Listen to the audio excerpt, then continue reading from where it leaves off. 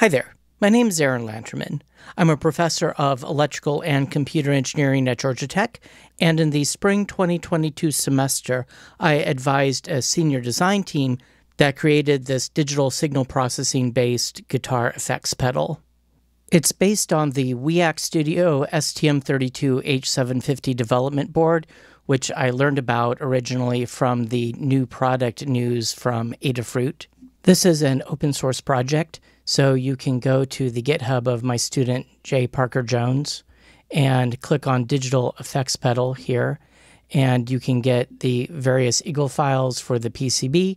You can also get various bits of source code.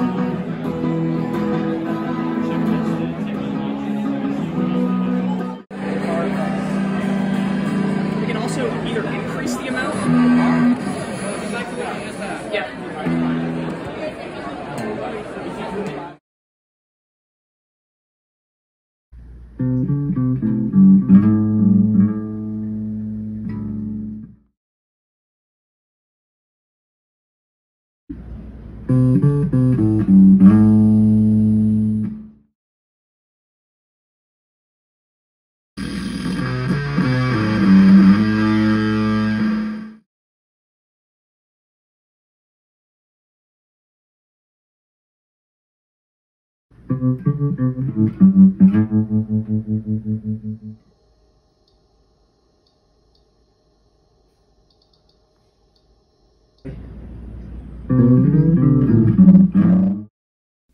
was mostly a proof of concept effort focused on getting the hardware running.